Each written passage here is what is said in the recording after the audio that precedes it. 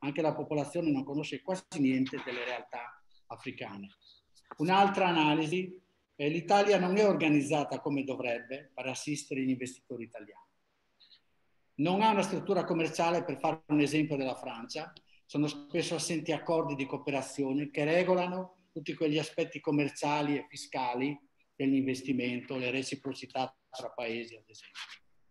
Ed ecco il ruolo del diplomatico che subentra per la promozione di questi accordi e fare la promozione presso i vari operatori economici. Il console onorario, essendo residente nel paese, a differenza diciamo, dei diplomatici che rimangono più o meno tre anni e non hanno sempre la possibilità di integrarsi nella, nella realtà del paese, conosce bene il console, il mercato locale, le mentalità e tutte le opportunità. Questo servizio non ha prezzo per l'investitore, ma non è sfruttato da tutti gli italiani che decidono di investire in Africa. Vengono spesso improvvisando e lanciandosi, diciamo così, in operazioni e poi eh, quando finisce male naturalmente perché non hanno preso precauzioni sin dall'inizio. Un'altra analisi. Il contesto africano del lavoro soffre di formazione professionale, preparazione adeguata di artigiani e di una manodopera specializzata. Posso parlare perché come impresario ho avuto l'opportunità di dare una formazione a tantissimi beninesi. Ci vuole passione, spirito di sacrificio e molta generosità e altruismo per offrire le tue competenze e i consigli. Devi agire come un padre di famiglia in pratica. L'impresa deve comunque organizzarsi, è doveroso questo, con dirigenti locali per essere competitiva. Solo così avrà una manodopera qualificata e costi competitivi. Ultima analisi. Come console avevo organizzato a suo tempo un'associazione di beninesi che si erano laureati in Italia quando all'epoca c'erano ancora interessanti borse di studio e un anno di lingua a Perugia prima di proseguire il cursus scolastico. Perché l'Italia ha interrotto questo tipo di esperienza? Forse bisognerebbe ripensare la cosa. Se non sono borse di studio dello Stato, possono venire da certe fondazioni che fanno da sponsor o con uh, grosse imprese, ad esempio, se hanno una visione di investire su delle risorse che possono poi recuperare o tramite università private riconosciute e affermate nel mondo intero. Conclusione, l'Africa è un cantiere aperto con mille opportunità, certo, ma in un contesto difficile da gestire. Si può investire nei seguenti settori in particolare. Agroindustria, turismo, materiale di costruzione, piccola industria, equipaggiamenti, macchine industriali, attrezzature varie, eccetera. L'Italia ha bisogno di diversificare eh, il trasferimento delle sue produzioni al di fuori dell'Asia, che durante questa crisi sanitaria, sanitaria si è rivelato praticamente unico fornitore estero. Il Benin, come altri paesi africani, si posiziona come paese stabile sul mare e in pieno sviluppo economico. L'installazione di imprese italiane sarà interessante per le due parti. L'Italia porta il suo savoir-faire e le sue competenze tecnologiche e potrà approfittare di una manodopera qualificata e a basso costo e avere la facilità di esportare le produzioni. L'Africa si sta sempre più regolamentando attraverso numerose riforme per attirare investimenti stranieri. In Benin, come in altri paesi, diciamo così, che sono un po' all'avanguardia in queste riforme, posso citarne ad esempio adozione di un quadro giuridico per il partenariato pubblico-privato, revisione della legge sugli appalti pubblici, creazione di zone economiche speciali con vantaggi fiscali e doganali, snellimento delle disposizioni del codice di lavoro, più, più, più liberale, diciamo, riforma del codice fondiario, questo è un, un vero problema per chi vuole investire nell'agricoltura, perché al di fuori delle città dove anche se uno viene all'estero può acquistare la sua parcella, e tutto il resto è proprietario dello Stato, non puoi acquistare, diciamo così, eh, ettari importanti al di fuori eh, per fare, per investire. Riforma della giustizia con tribunali commerciali, attualmente. Riforme per modernizzare l'amministrazione attraverso il codice digitale, tanta digitalizzazione, tanta. Riforme per rendere più attrattivo il codice degli investimenti, e semplificazione del processo di creazione e di formalizzazione delle imprese. In 48 ore puoi fare la tua impresa oggi. Grazie. Per, sto concludendo ormai. Eh, vorrei dire una parola solo sul Fondo per l'Africa, istituito dalla legge 232 dell'11 dicembre 2016. Questo fondo stanzia 200 milioni di euro per interventi straordinari volti a rilanciare il dialogo e la cooperazione con i paesi africani di importanza prioritaria per le rotte migratorie. Gli interventi mirano ad assicurare la piena cooperazione con i paesi di origine e di transito dei flussi migratori nel quadro di un'azione integrata di politica estera che valorizza la centralità del continente africano. Vi ringrazio, scusa se sono stato un po' lungo, sono a tua disposizione. Grazie, grazie. tra l'altro eh, ha toccato dei punti fondamentali da quello una, della mancanza di una strategia politica per accompagnare le imprese piuttosto che quella di, della narrativa, de, che ovviamente eh, Sita prima diceva della, mh, del rapporto di fiducia, difficile riuscire a costruire un rapporto di fiducia se non si ha una fotografia eh, incoraggiante da parte del, dei media e della politica italiana verso, verso il continente, ma anche quello della, della formazione che eh, nei primi due interventi eh, si è data molta importanza a quella che è il trasferimento del know-how e la, la, formazione anche delle corsi di studio che effettivamente negli ultimi anni sta diventando sempre più difficile riuscire a far venire gli studenti africani in, in Europa, ma anche il ruolo del, dei consoli e, e, della diaspora che vivendo eh, sul territorio ha la possibilità di cogliere le opportunità e i bisogni in modo più, eh, nonché in ultimo quello della, eh, delle regolamentazioni. È vero, ultimamente negli ultimi anni l'Africa sta facendo dei grossi sforzi sia globalmente che come singoli paesi per eh, riuscire a reg regolamentare meglio e stilare degli accordi eh, bilaterali con, eh, con, gli stati e in questo come, come Italia siamo molto indietro, che è la, l'aspetto certo. che non eh, facilita e non rassicura le imprese italiane verso, verso le attività del, del, continente. Poi ci sarebbe da fare un grosso dibattito perché in realtà ci sono degli altri stati verso i quali si fa business nonostante non ci siano gli accordi, non ci, eh, ci siano problematiche di stabilità e via dicendo. Grazie. Ora passerei la parola a eh, Youssef El Ganadi, che è un architetto ed è entrato a far parte nel 2016 dello studio internazionale di architettura Teco e Partners, con cui collabora tuttora. Da tre anni svolge attività di ricerca e didattica sulle smart city nell'ambito di un dottorato industriale presso l'Università di Parma e l'Università internazionale di Rabat, dove tiene corsi come docente a, tem uh, a, tempo, a tempo determinato. Nel 2018 ha fondato l'associazione no profit My African Competition,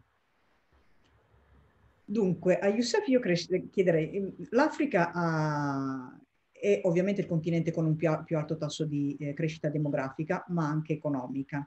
E, e, questo impone anche un ripensamento alle strutture abitative. Quindi, quali opportunità economiche per l'Italia e quali in termini di sostenibilità e formazione per le economie africane? E in questo il ruolo della diaspora nel trasferimento del know-how, visto che eh, sei anche un docente, quindi l'importanza è la necessità di creare del, dei partenariati che portino anche un reale trasferimento del know-how.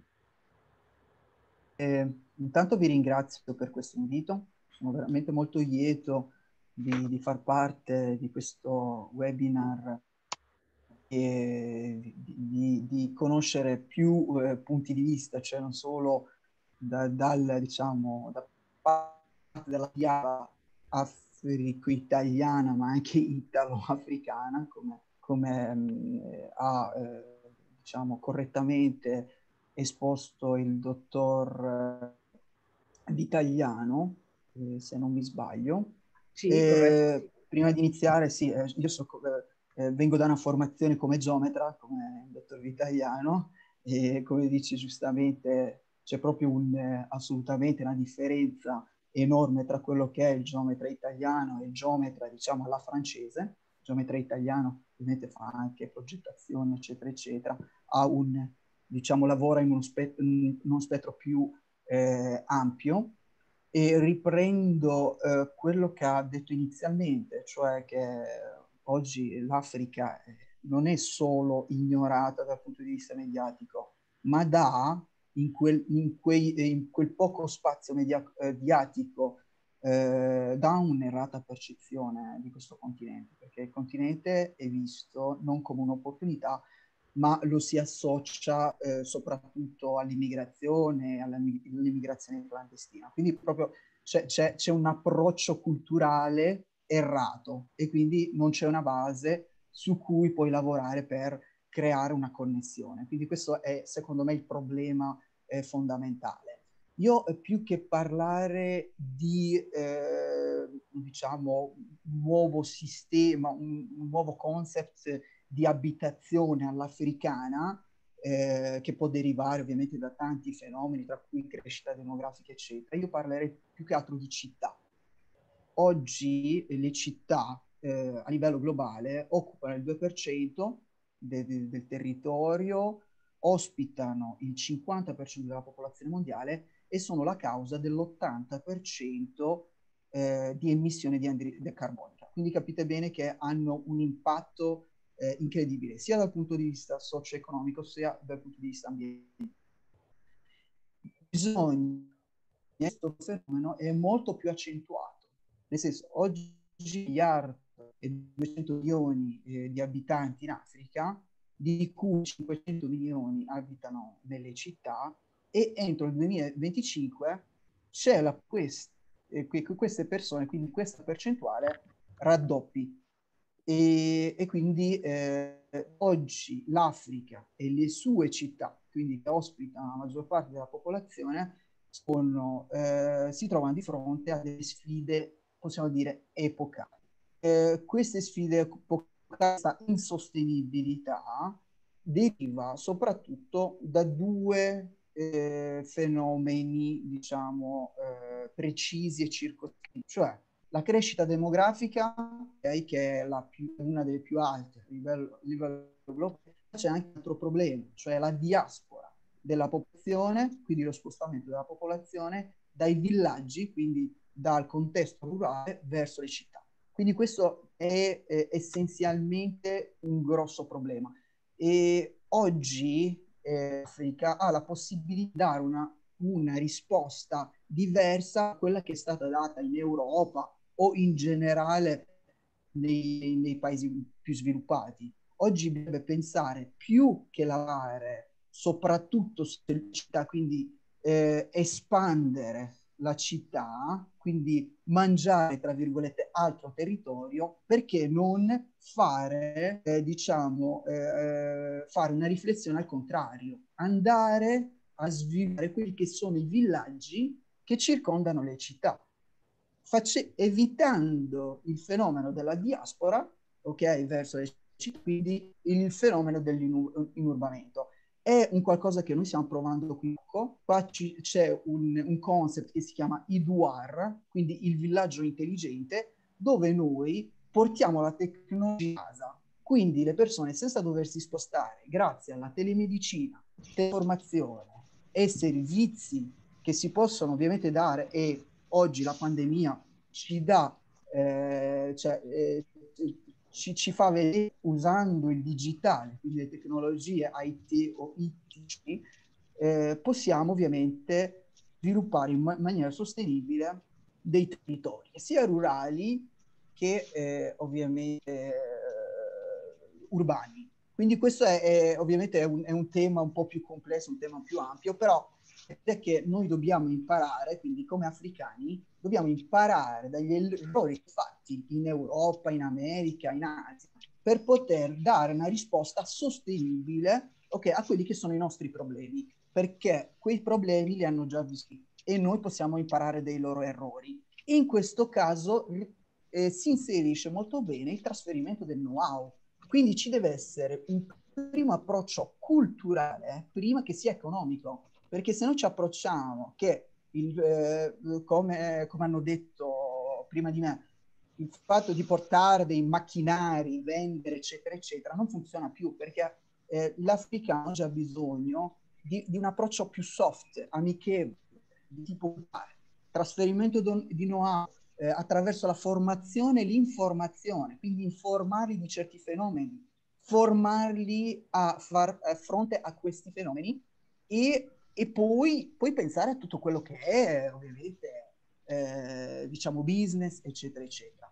Questo lo facciamo, noi abbiamo vissuto un'esperienza molto interessante in questo caso con una multinazionale italiana che è H Software. Noi stiamo sviluppando la strategia digitale per il Marocco, che concerne il settore delle, costru- eh, il settore delle costruzioni. Con H Software, la nostra ONG ha siglato un accordo per portare questa realtà qui in Marocco, in general- generalmente in Africa, dove si organizzano dei momenti di formazione per i professionisti locali, momenti di formazione attraverso dei webinar, eccetera, eccetera, e piano piano c'è questa, come si dice, introduzione soft culturale e poi ovviamente arriveranno assolutamente i risultati e noi l'abbiamo visto, nel senso che l'Africa ha molto potenziale, ha molto da dare, però ovviamente non è l'Asia, eh, non, non, è il Medio Oriente, ok? Perché molti pensano vado lì, faccio business, io ho dei prodotti italiani, quindi vendo appena metto piede. Non è così assolutamente.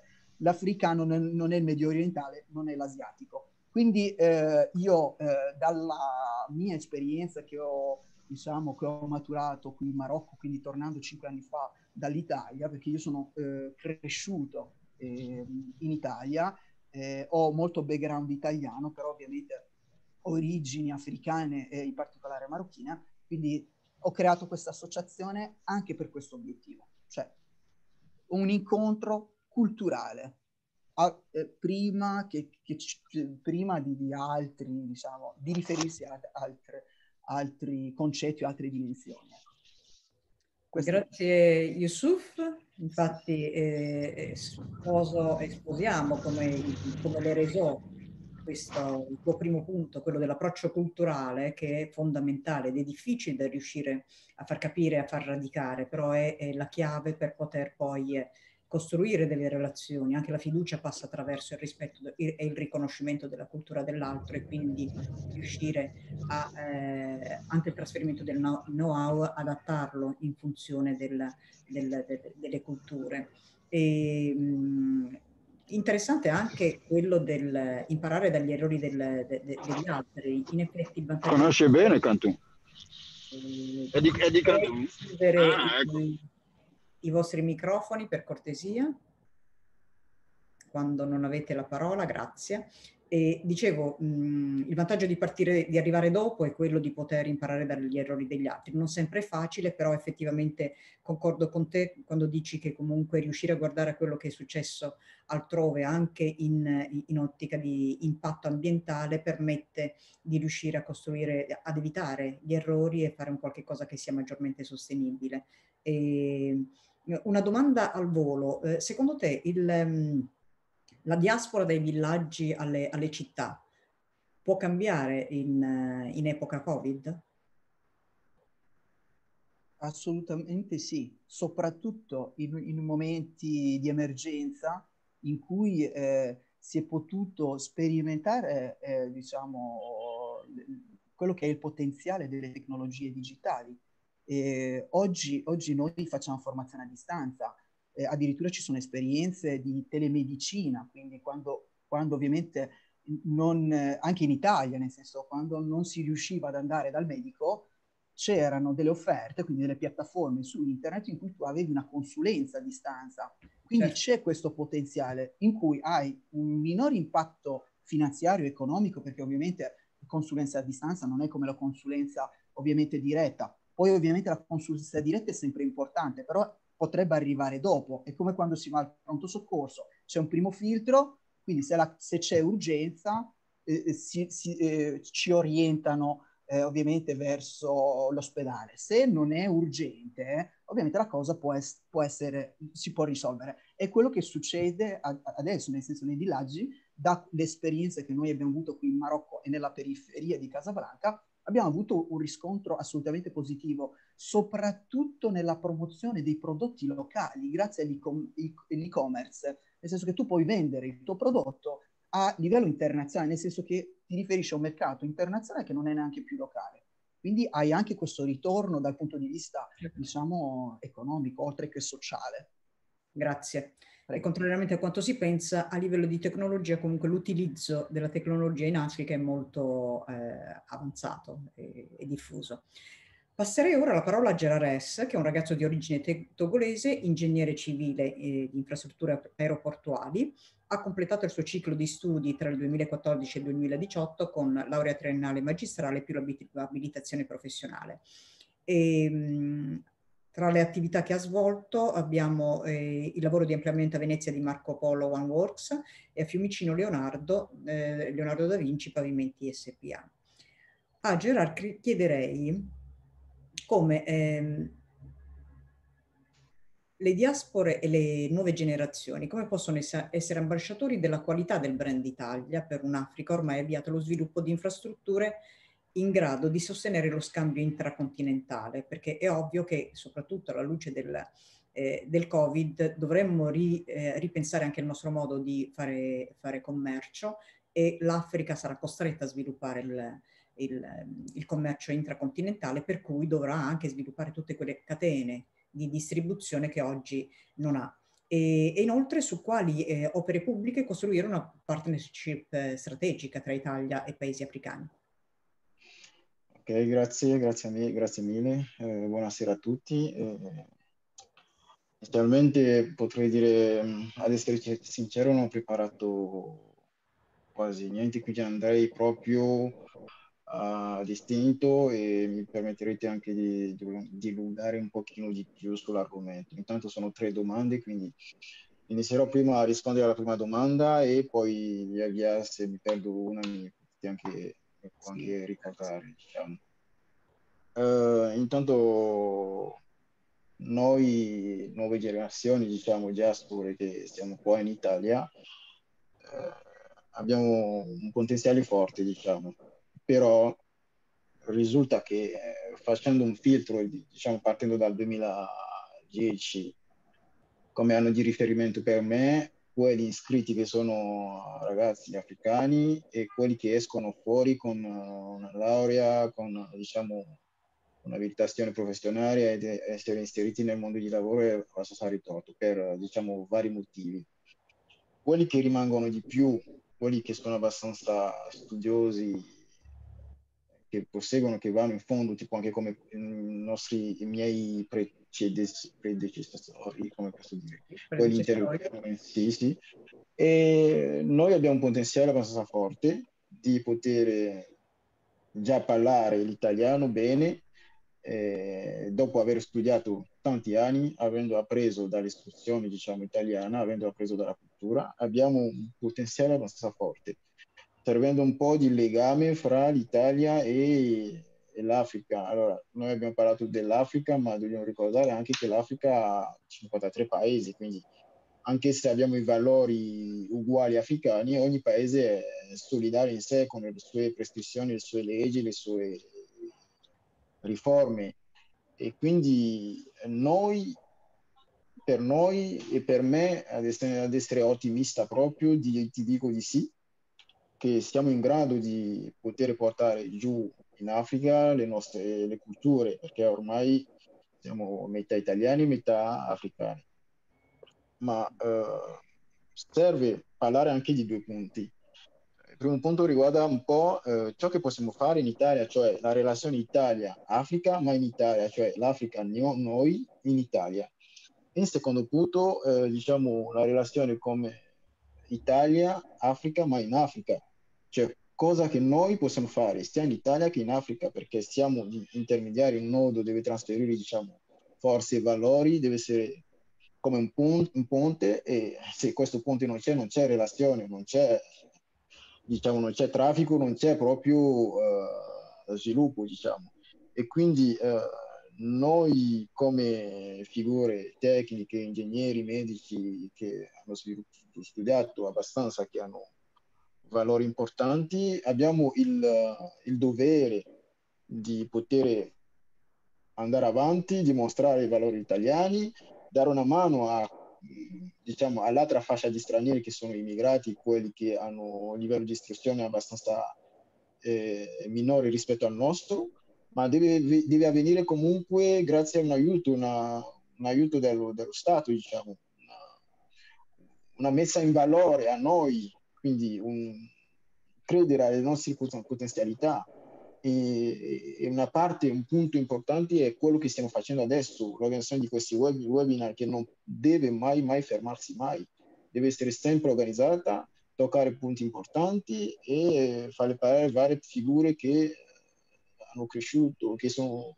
che hanno maturato le, le, diciamo, le istruzioni, le conoscenze in, in Italia, perché questo anche un frutto dell'Italia eh, spesso stiamo un po' nascosti perché eh, media, la stampa non va a parlare di noi e quindi dobbiamo iniziare a, fare un lavoro personale.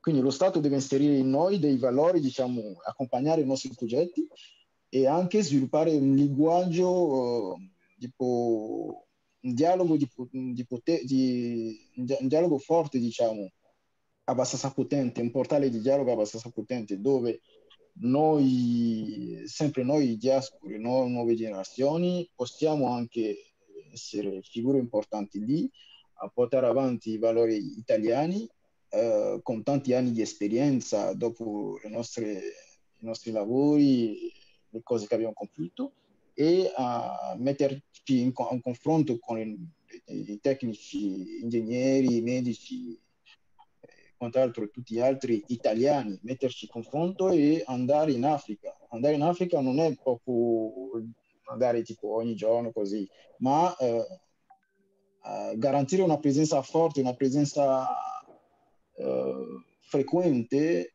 in ogni paese it- eh, africano, perché l'Africa è l'Africa è continente, ma ogni paese è, è singolare in se stesso, se posso dire. Quindi uh, un portale di linguaggio abbastanza potente, abbastanza forte, perché per poter trattare serve un dialogo.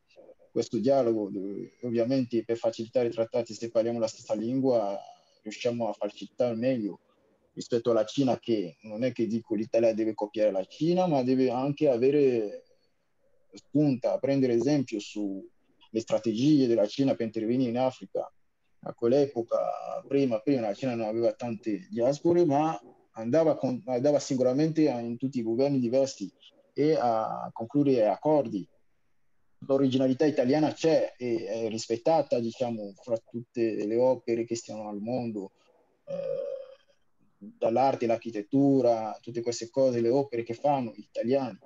Ma alla fine serve anche un approccio strategico verso tutti gli altri paesi, ma questo deve venire tramite noi per forza, perché il vantaggio ce l'hanno e siamo noi e, e in più andrei a dire anche che queste opere che possono essere importanti, cioè gli sviluppo di, tratta, di, diciamo, di collaborazione fra l'Italia e l'Africa, possono essere a livello del nel settore infrastrutturale, a livello di aeroporti, sviluppo di aeroporti, ma anche la, la rete ferroviaria, diciamo, che è abbastanza, secondo me, un futuro da sviluppare. Eh, collegando tutti, diciamo, maggior parte dei paesi importanti dal corno dell'Africa verso l'altra parte e dal nord a sud, e, diciamo, eh, anche le opere, diciamo, di, di, di, di, protezione costiere, perché la corno dell'Africa dal 1900 diciamo se non sbaglio 1970 già eh, le, le, coste subivano già eh, un avanzamento dell'acqua eh, quindi anche protezioni costiere vanno studiate come opere eh, da fare per poter collaborare e salvare le, le vite e salvare le città in, Africa. Queste sono le cose che l'Italia può fare, che è in grado di fare comunque, ma serve per forza un, una messa in valore, cioè eh, in, un intervento misto, cioè fra, come posso dire, un intervento misto partendo da noi più i tecnici, ingegneri, architetti e tutti gli altri che, che, stanno qua, che sono italiani, abbastanza bravissimi. Ma pure noi siamo bravissimi, lo dobbiamo dimostrare come lo stiamo facendo adesso e come lo, lo state facendo tramite questo webinar. In più a cavallo ci possono essere opere minori per poter dimostrare che l'Italia sa fare qualcosa, ma ogni tanto fare dei, lavori, dei lavori o delle opere di agricoltura, di, di opere di accesso all'acqua, e anche un sostegno alla, san- alla sanità, perché comunque eh, l'Africa o l'Africa, tutti i paesi diciamo dell'Africa eh, sono in via di sviluppo, ma comunque c'è anche sempre la carenza di, diciamo, di nuove tecnologie. E via via, eh, mano a mano, si può anche iniziare a parlare della manutenzione, la formazione dei giovani, delle persone. Ma questo deve sempre avvenire anche tramite noi se, dobbiamo parlare, se noi dobbiamo intervenire, perché noi parliamo la stessa lingua italiana e possiamo anche trasferire conoscenze verso uh, le persone eh, in Africa. E, e poi Grazie. anche un'altra cosa, non so se mi lasciate finire, un'ultima cosa che un secondo. che posso aggiungere che secondo me deve essere considerato in Italia è la creazione di un strumento di dialogo potente per valorizzare le persone, eh, un tot di esperienza che hanno fatto in università, che si iscrivono sui portali, eh, portando i progetti che interessano sia l'Africa che l'Italia o non soltanto anche l'Africa, ma basta che sia straniero qua e cercando di sviluppare un progetto per istruire, creare persone e istruire i rifugiati, i immigrati e farli inserire in modo, anche in modo di lavoro, di intervenzione rapida per sostenere le persone quando ci sono le calamità naturali. Queste sono le ideologie che possono essere sviluppate, diciamo. E quindi l'argomento è abbastanza grosso, quindi mi fermo qua. Non so se ho risposto tanto, ma sono a disposizione, disposizione sì, di... Grazie, grazie mille. È, è, è, ricorrente il, il, il, trasferimento del know-how. Poi comunque eh, noi dimentichiamo sempre che l'Africa, proprio per la sua crescita demografica, sarà non solo il continente dove andremo ad attingere un po' tutti la, la manodopera, ma soprattutto sarà il continente dei consumi. E questo è difficile un po' farlo eh, capire in Italia. L'altro punto che hai toccato, che eh, secondo me è quello chiave, è quello della valorizzazione delle diaspore, che è un altro difetto che non riguarda solo l'Africa, ma in generale l'Italia, a differenza dei suoi competitor, valorizza poco le diaspore quando potrebbero essere invece quelli che eh, potrebbero accompagnare e facilitare tanti processi. Passerei ora quindi la parola a Francis eh, Donvu, che eh, nasce in Camerun ed è in Italia da 30 anni si laurea in, in ingegneria elettronica presso l'Università Roma 3 e da dieci anni attivo nel settore dell'automotive in generale, ma nel problem solving in particolare, e lavora attualmente presso Maserati come quality engineer. Dunque, a lui io chiederei, mh, allora, eh, negli ultimi anni diciamo che il continente africano ha mostrato anche il, un crescente numero di milionari. L'Italia è risaputo essere, eh, è risaputa essere anche una nazione che produce eh, eccellenze e prodotti di alta gamma, anche nel settore automobilistico. Quindi se dovessimo proiettarci in un eh, orizzonte temporale di 5-10 anni, cosa possiamo fare noi come diaspora e, e nuove generazioni per accompagnare le aziende eh, italiane ad acquistare una fetta di mercato prima che sia troppo tardi, perché i nostri competitor, eh, in quanto a acquisire fette di mercato, sono tutti già presenti. Quindi cosa possiamo fare concretamente noi per eh, accelerare e cercare di occupare o mantenere alcune fette di mercato? Ok, eh, innanzitutto buonasera a tutti, eh, grazie per l'invito Meret, eh, grazie per la domanda, è molto interessante. Eh, prima di rispondere alla, alla domanda, appunto, eh, quello che volevo invitarvi a riflettere è questo dato qui che ho visto sulle vendite auto degli ultimi anni. Sostanzialmente in Africa attualmente il parco auto circolante è di 34,2 milioni, e solo l'Italia ha un parco autocircolante di 39 milioni. Quindi parliamo di, di un dato molto significativo. Per renderla ancora più esplicita, eh, in Africa vi dico che abbiamo 27 vetture ogni 1000 abitanti, mentre in Italia ne abbiamo 645 ogni 1000 abitanti. Ora, non so quello che leggete voi da questo dato, ma io sostanzialmente l'ho vista come un'opportunità. E da questo eh, vorrei partire per eh, cercare di rispondere alla tua domanda. Innanzitutto, eh, come diaspora e come canale per, per essere un veicolo eh, di, di, di importazione del Made in Italy in Africa, quello che dobbiamo fare sicuramente è strutturarci. Strutturarci significa eh, sapere chi fa cosa, nel senso che dobbiamo sapere chi di noi raccoglie dati. raccoglie dati perché il dato sulle vetture vendute, sui paesi dove vengono vendute, su cosa la gente acquista in Africa, milionari e non, eh, è una base di partenza fondamentale perché ci dice qual è la fotografia dello Stato, dello stato dell'arte di quello che vogliamo andare come prodotto a importare. Poi il passaggio successivo come diaspora è avere un'analisi dei dati, chiaramente, perché ci permette di capire i motivi per i quali abbiamo quel, quell'informazione lì. Lo scarso utilizzo delle letture piuttosto che la difficoltà di utilizzo in varie zone dell'Africa, che è un problema chiaramente che può essere approfondito. E poi dobbiamo mettere insieme questi dati e fare un, una, un progetto significativo per portare questo tipo di, eh, mettiamola così, Made in Italy a chi può fare da interfaccia verso l'Africa. Altra cosa che posso dirvi per rispondere alla, alla domanda sempre è che eh, in questo momento in Africa abbiamo pochi concessionari che generalmente sono quel canale che permette a, una, a un OEM di fare eh, la vendita verso il cliente perché il concessionario è l'interfaccia, il concessionario è l'ente che fa una campagna di promozione, per esempio. Quindi eh, questo aspetto va valutato e vanno capite le ragioni della mancanza.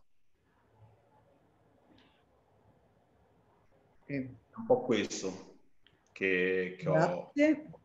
Grazie. Mi chiedevo mentre tu eh, ponevi la domanda su quali sono le ragioni perché non ci sia una campagna, un, un concessionario quindi una campagna di comunicazione, se il problema non fosse che in Italia a livello di comunicazione eh, non, non, possono esistere degli africani ricchi.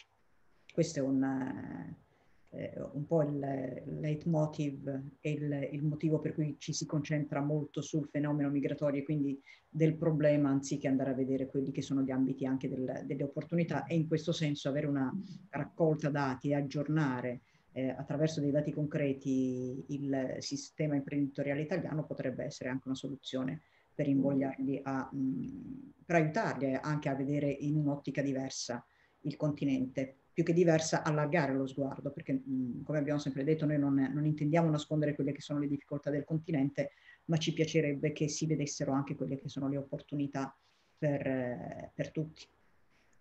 Grazie, intanto ricordo eh, sia agli amici che ci seguono su Facebook che qui che eh, potete postare le eventuali domande e i vostri interventi in chat.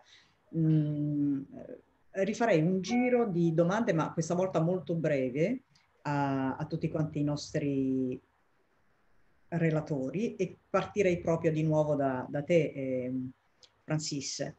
E parlando di qualità, che l'abbiamo toccata eh, qualche mm, minuto fa, eh, secondo te qual è il livello in termini di qualità del rapporto commerciale Italia e paesi africani? E in che modo noi potremmo come eh, ONG e diaspora contribuire ad elevare il livello di qualità? Ok, parto, parto dalla definizione di, della parola qualità, se me lo consenti. La qualità, eh, se vogliamo, non è altro che il livello di soddisfazione eh, dell'utilizzatore di un prodotto sul prodotto. Mm-hmm. Il discorso è adesso, eh, per rispondere a questa domanda, l'approccio più semplice da fare eh, si chiama survey. Certo. Survey non è altro che interpellare un, uh, un tuo customer relativamente a un tuo prodotto che sta utilizzando, capire di cosa è soddisfatto e di cosa no. Quindi a livello di diaspora eh, possiamo agire in questo senso, capire se c'è la possibilità di avere eh, delle survey con feedback rapidi eh, su determinati aspetti e determinati prodotti. E in termini di rapporto se dovessimo invece dare un livello di qualità al rapporto Italia-Paesi africani? Domanda difficile. Sì, è difficile, è difficile, ma in questo momento io, non, io direi che c'è, una, c'è, un rapporto da migliorare sicuramente in termini di qualità. Okay. Uh, questo rapporto è sempre dovuto all'assenza di comunicazione su tanti aspetti. Grazie. Gerard, allora, eh, tu prima parlavi eh, anche del, del, del, livello di preparazione del, della formazione delle figure professionali presenti in Italia. E, mh, in Italia è risaputo che ci sono tanti ingegneri africani, tant'è che esiste anche l'associazione degli ingegneri africani e paradossalmente, anche se pot- potremmo fare di più, sono quelli che sono riusciti a bucare il mercato perché abbiamo diversi ingegneri che sono eh, posizionati bene in diverse aziende ed anche da lungo periodo. A Roma abbiamo degli ingegneri che sono in eh, aziende importanti sin dagli anni 80, quindi mh, mm, così come per i medici piuttosto che, il, che gli avvocati. E mi chiedevo in che modo possiamo, a livello di figure altamente eh, professionali, creare un, un ponte tra realtà aziendali italiane, accademiche e istituzionali tra l'Italia e, e l'Africa proprio per eh, magari facilitare anche l'orientamento professionale dei giovani africani? Eh, sembra una domanda tosta, diciamo. Cioè, quando dico tosta è perché eh, cioè, anche adesso quando dico difficile da realizzare non, non sarebbe giusto perché siamo comunque sulla strada. Mm-hmm. La creazione delle nuove tecnologie, cioè del, scusami se dico tecnologie, delle nuove, dei nuovi forum, dei nuovi gruppi, delle nuove associazioni, diciamo. All'epoca non c'erano questi prima e adesso piano piano ci stiamo facendo conoscere. Certo. E in più di questo serve un lavoro da fare, cioè io dico personalmente non aspettare sempre eh, anche se siamo in Italia, una collaborazione per forza da, usatemi, se mi permette questa parola, da italiani, no, cioè nel senso da figure tecniche italiane, perché non, in realtà sono abbastanza bravissimi, ma lo dobbiamo dimostrare anche a no, noi tramite altri progetti, altre innovazioni, creare co- cose che possono essere interessanti al loro, al, loro vis- al loro punto di vista e anche loro possono usare quello. E saremo noi a prenderli a questo punto e portarli anche in Africa, portarli in Africa a interessarli, eh, servire di, ponte fra loro e le nostre istituzioni amministrative di, di, di governo, diciamo e quindi eh, quando dico creare qualcosa non è sempre aspettare sempre l'iniziativa che dovrebbe arrivare dalle figure tecniche italiane e noi diciamo no, facciamo la stessa cosa, creiamo l'associazione italiana, l'associazione eh, africana, così così. Possiamo anche iniziare personalmente noi a decidere su nuovi progetti, ma che possono anche dare una mano all'Italia, che può essere qualcosa... Eh, che alla fine sarà vista come associazione di africani in Italia, hanno creato questo che alla fine dà frutto. E quindi in stampa, in giornali inizieranno a parlare di noi, ma che non, è, che non sarà una cosa breve, ma che sarà una cosa continua, come dicevo prima, eh, creazione di un portale di pronto intervento, diciamo, fra le figure tecniche, ingegneri, eh, medici eh, che sono in Italia, africani, stranieri, e collocare anche quelli dell'altra fascia di stranieri che eh, una volta istruiti da noi, educati, cioè diciamo dalla lingua italiana nelle varie materie di, uh, di sicurezza, di salvataggio, possiamo anche addestrare, cioè addestrarli per dire, portarli, è una grossa cosa che sto dicendo, eh, non è una cosa immediata, ma uh, portarli a, a fare un pronto intervento, tipo all'anno in Italia ci sono sempre delle calamità, maltempo, quando le persone in casa si intrappolano e quindi noi possiamo anche mandare le persone là a salvare le perso- uh, altre persone, che è una buona cosa, e servire di supporto ai vigili di, di fuoco, di, di fuoco anche, ma non è soltanto eh, un lavoro di forza, ma riguarda un aggiornamento del tavolo, studio tecnico per poter intervenire. Questa è un'idea, ma che, che, che, che sia vista in Italia, diciamo. E poi via via nasce anche quella fiducia, diciamo, per poter sbloccarsi, lavorare insieme e andare in Africa. Okay. Ma quando dico in Africa, sempre, sempre, ogni paese, perché l'Africa è un continente. E quindi certo. Sì, eh, non so se ho risposto bene alla domanda, però me lo, me lo può anche sì, rifare se c'è, qualc- se c'è, qualcos'altro da dire, cercherò di rispondere. Grazie. Ehm, grazie mille. Passerei a Yusuf, al quale chiederei, ovviamente, come diceva un po' anche Gerard, noi parliamo sempre di Africa dimenticando che stiamo parlando di un continente di 54 paesi e, e con anche diverse velocità.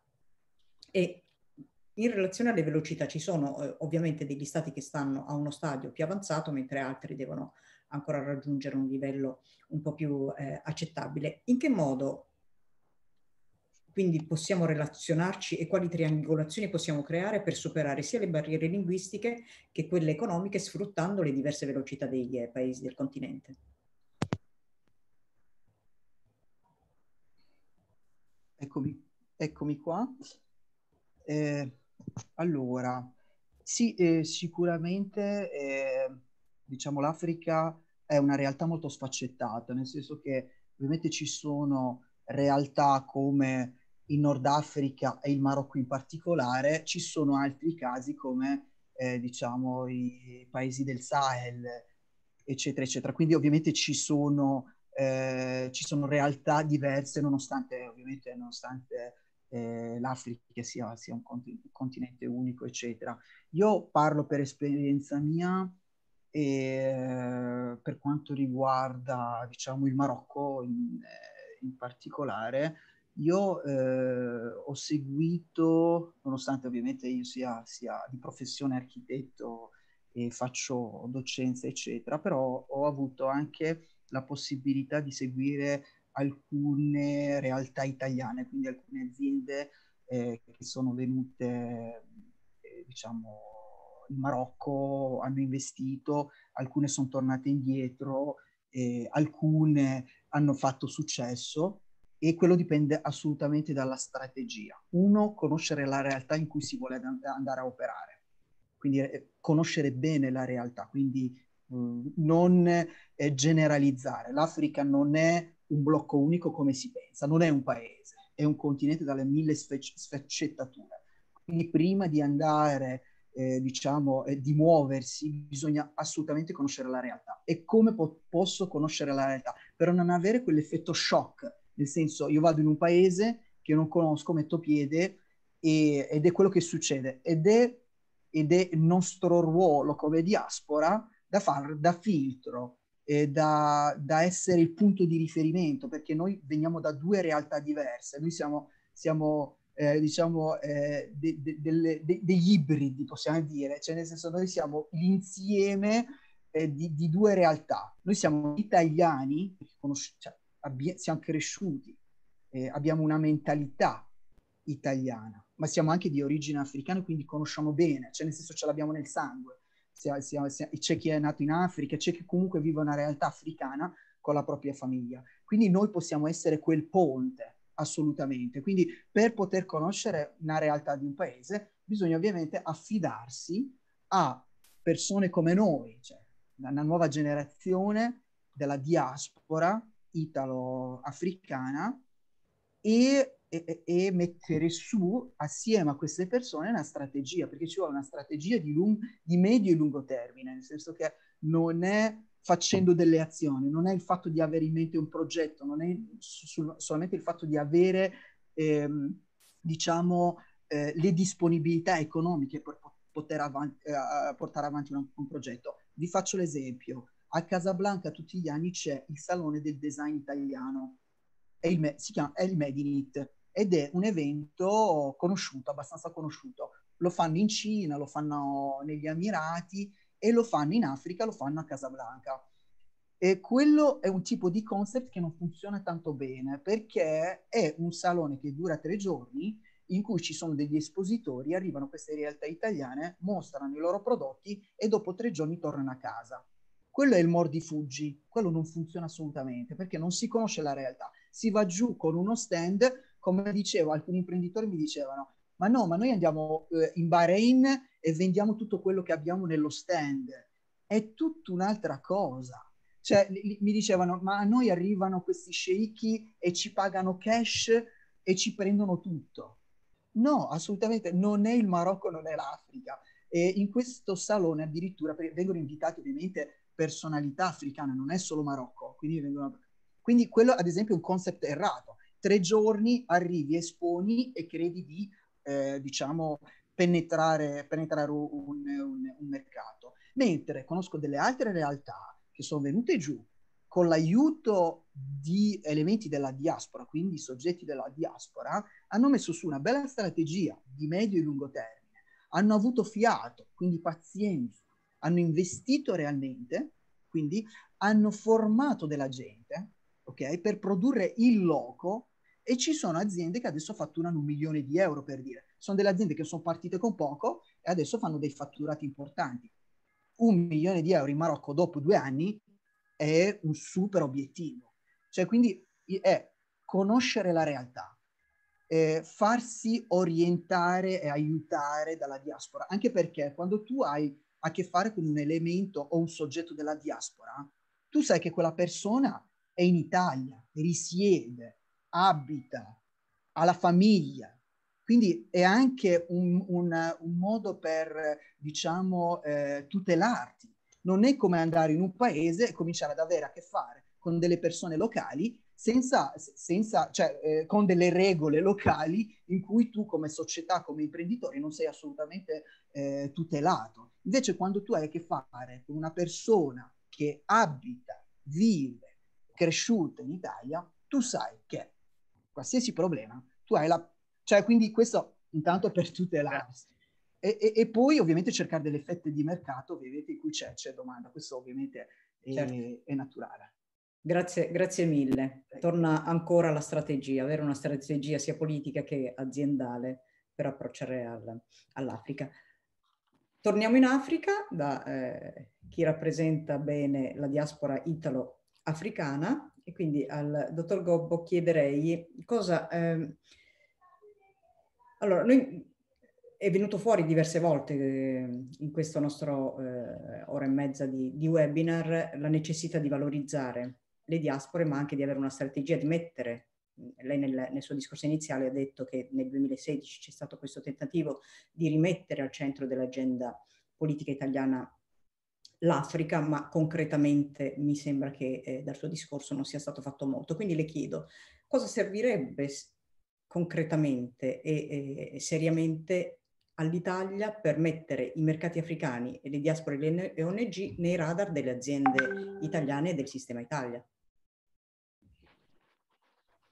Oddio, risponderti diciamo un bel discorso bisognerebbe diciamo così prepararti, ma eh, è importante partenariato, non partenariato come si conosceva, diciamo così, diciamo in precedenza, perché l'Italia, avendo la reputazione di detenere un, ottimo savoir-faire artigianale, moderno, nell'ambito dell'agricoltura, dell'agrobusiness, del tessile, della moda, è ben riconosciuto questo, il Made in Italy. Eh? Però bisogna lavorare un, dei modelli di partenariato che si formino di tutti questi savoir-faire queste tecnologie per fare dei prodotti, dei marchi e dei modelli capaci di portare dei vasti cantieri di sviluppo in Africa. L'Italia ha la grande chance non solo di commerciare, ma anche eh, di porre il suo marchio tecnologico. Ora con, potrebbe essere con un miglior partner africano. In conclusione si tratterebbe di innovare e trasmettere l'antico savoir-faire italiano. E ci sono poche strutture, anche per rispondere o per andare diciamo, su quello che stava dicendo l'amico Youssef, veramente eh, professionali che vi possano aiutare a investire, che vi prendono per la mano eh, e vi aiutano diciamo, ad avere il buon partner vi aiutano ad, ad avere, diciamo così, a conoscere il mercato. E ci sono poche io ne conosco, diciamo, diciamo così, qualcuna, eh, sia in Benin e in Italia, ad esempio, eh, c'è una struttura che esiste dal, 2000, dal 2012 a Treviso, eh, si chiama ETC, ETC queste, io ho già operato, diciamo, anche con loro, eh, che sono strutture oggi diciamo che operano con SACE ad esempio, con eh, Simest, eh, siamo qua nella cooperazione diciamo italiana, si preoccupano di conoscere, di penetrare prima diciamo così eh, un certo mercato diciamo africano per apportare delle soluzioni eh, so, sotto forma di finanziamenti, sotto forma diciamo così eh, come si dice, di avere dei buoni partner sia in Africa che in Italia o attraverso il, il, eh, eh il credito nell'export o attraverso, diciamo così, eh, partner anche, diciamo così, in funzione di, certe, di certi appalti, di certi, diciamo così, eh, bisogni, diciamo così, a livello, diciamo così, de, dei paesi africani. Difficile risponderti di più, ti potrei parlare eh, meglio. No, no, no, ma va bene così. Eh, diciamo che eh, ce lo diciamo sempre, poi prima o poi dovremmo eh, magari in una sede anche diversa cercare di eh, trovare il modo per, di mettere in pratica tutto quello che da anni stiamo dicendo tutti, ma che di fatto non riusciamo a fare e col tempo stiamo lasciando spazio a tutti. Dobbiamo seriamente interrogarci come mai riescono ad arrivare tutti facilmente in Africa nonostante le barriere eh, linguistiche, economiche, di stabilità e, e l'Italia eh, sembra quasi avere il freno a mano. Grazie mille e passerei per chiudere con eh, il giro dei relatori, eh, tornerei da Sita e ovviamente la domanda non può non essere eh, legata al, al mondo femminile, quindi il ruolo della donna nel processo di internazionalizzazione e soprattutto quali sono le opportunità per eh, le donne che operano a cavallo tra l'Italia e l'Africa. Allora, domanda abbastanza interessante.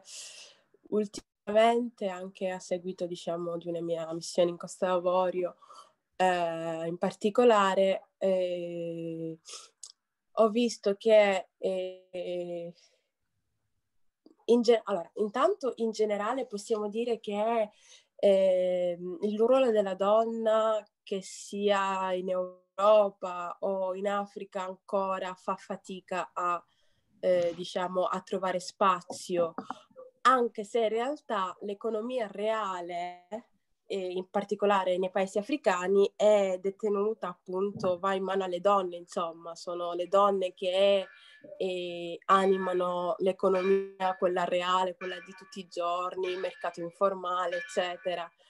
E però quando si tratta appunto di, ehm, diciamo, di parlare a livelli più alti, eh, quindi abbiamo parlato di agroindustria, abbiamo parlato di smart city, eccetera, cioè comunque sia ancora eh, una preponderanza, diciamo, della figura maschile nei livelli decisionali, ma nei livelli anche, diciamo, di trattativa, eccetera. E quindi, ma questo penso sia un problema eh, globale, culturale, eh, che non riconosce molto spesso eh, la donna al suo giusto valore. Allo stesso tempo posso dire che ehm, in Italia, eh, dalle mie esperienze, dalle mie conoscenze, i miei contatti, ho visto che per quanto riguarda la diaspora, eh, africana, per quanto riguarda le nuove generazioni, eh, le donne sono molto più attive, hanno eh, diciamo una, una, sete, tra virgolette, un po' più, più grande di voler, eh, diciamo, creare veramente questi ponti che siano sociali ed economici con uh, il continente.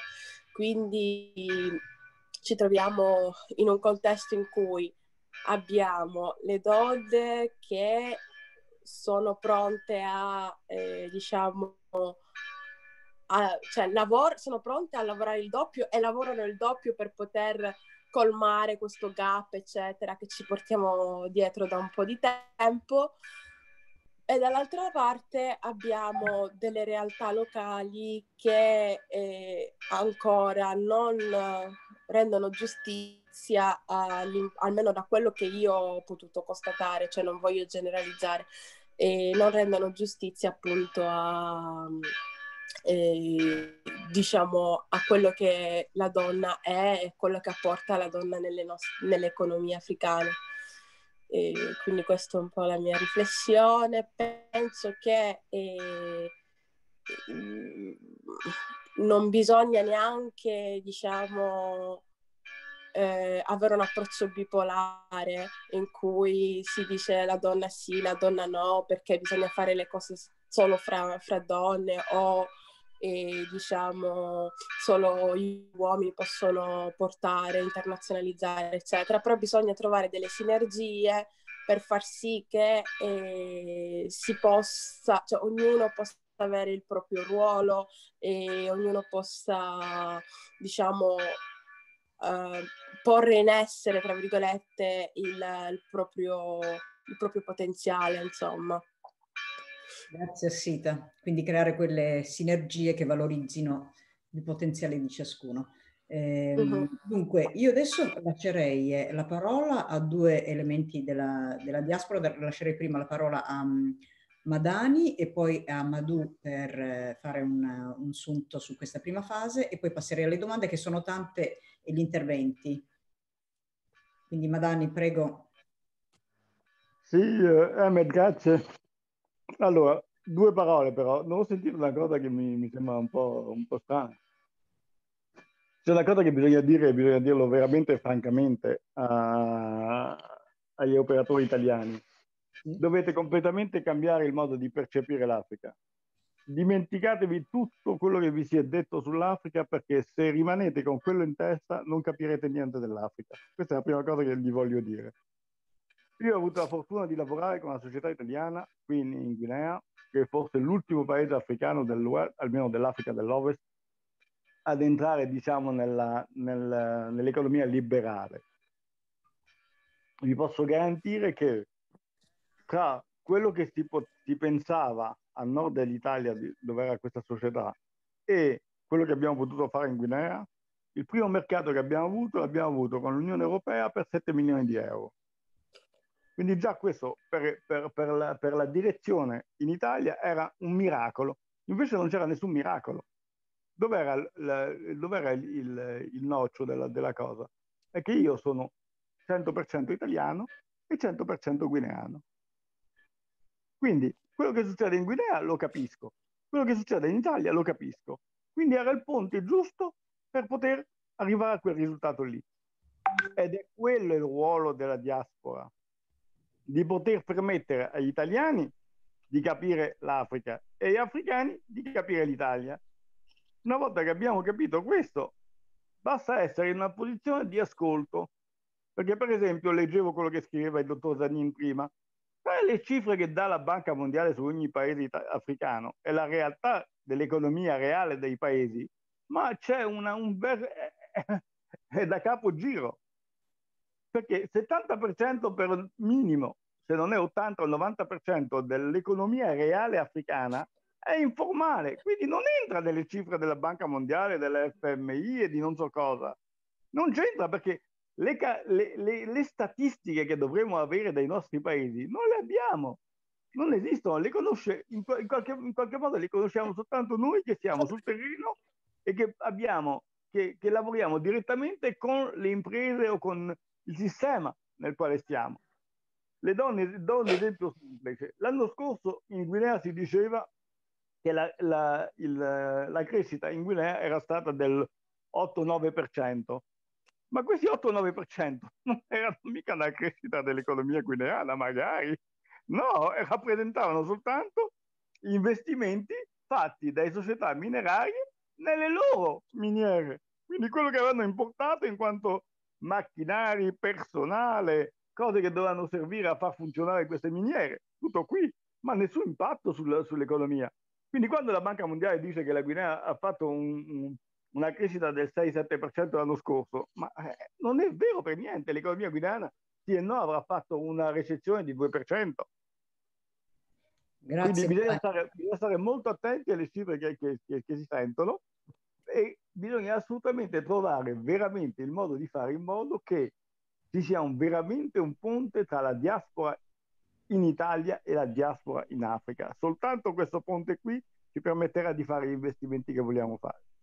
Grazie, grazie Madani. Eh, Amadou non, non, è disponibile, per cui ehm, Cleo volevi dire tu due parole prima di passare alle domande? Sì, diciamo che ho seguito un po' il, il dibattito eh, innescato da Zanin che sono anche giuste, nel senso che sono anche il pensiero di tantissime realtà italiane sul continente. E noi giustamente cerchiamo attraverso questi eventi di portare un altro punto di vista, un punto di vista che potrebbe, dovrebbe aiutare eh, l'Italia a, a tornare o a ritornare sul continente, perché chiaramente essendo anche italiani si interessa molto alla possibilità di poter avere più presenza italiana che di altri paesi, ma è una cosa penso abbastanza naturale e normale. E io sto guardando quando mh, seguivo la pagina del dottor Vitaliano Gobo e, vedevo quel bellissimo progetto di questo ospedale, forse Vitaliano potrebbe dire qualcosa di altissimo livello che deve partire adesso. Eh, in Burkina Faso ogni giorno c'è l'inaugurazione di una strada o una strada che deve partire, eh, è la stessa cosa che si vede. L'altra volta in Senegal hanno eh, ricevuto un sacco di di autobus perché chiaramente stanno cercando di rinnovare eh, il parco dei, dei, dei, dei auto per, per, il trasporto urbano, perché chiaramente ci sono tante eh, eh, macchine che sono eh, vecchie e inquinano molto eh, l'atmosfera. Quindi eh, quando io guardo quello che si fa in, nel, sul continente e sento parlare la gente qua, ho l'impressione che sono due mondi, no? Diversi, come si parlava della situazione della, del Covid, si sentiva sarebbe stato la catastrofe, tanti morti. No, vediamo ancora oggi che non è ancora capitato, incrociamo le dita che non capita, ma è, è, è, è, chiaro che a volte si raccontano delle cose che non sono completamente vere. Uno che lavora nel continente sa benissimo che c'è una distanza enorme tra quello che si dice e quello che si vive. Non dico che non sono cose che a volte non sono vere, ma è chiaro che qua, da quello che si racconta e quello che si vive nel continente a volte sono cose diverse. E poi se hai la grande giusta, il contesto giusto, riesci anche a fare delle cose senza problemi. Quindi il nostro intento nell'organizzare quei webinar, ma anche per, nell'organizzare quegli eventi, è dire usciamo dal racconto superficiale che purtroppo gira sul, sul continente andiamo eh, eh, davvero nei territori, confrontiamoci con le persone e, e l'italiano racconterà, perché mi piacerebbe anche tornasse anche a dire due cose, su quello che sta facendo quel presidente. Il presidente sarà Talon. tempo, sì, glielo faremo fare.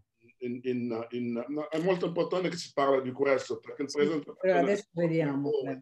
In Benin in 5 minuti chiederei agli italiani di raccontare quello che sta facendo il presidente per capire che non si è fermato il paese malgrado la situazione attuale, malgrado il fatto che si parla ancora di Covid, di problemi a livello economico e, e questo. Quindi io vorrei sentire 3-4 minuti italiani che racconta cosa sta facendo eh, il presidente Talon. Giro e poi lo faremo fare. Mm. Grazie Cleo. Eh, per eh, correttezza, visto che l'avete chiamato in, in causa, lascio la parola a Zanin eh, che aveva anche una domanda per Gobbo e, e, e me, se non, se non, mi sbaglio, e una per Assita. Sì, grazie, grazie Meret e, e, e grazie Cleo.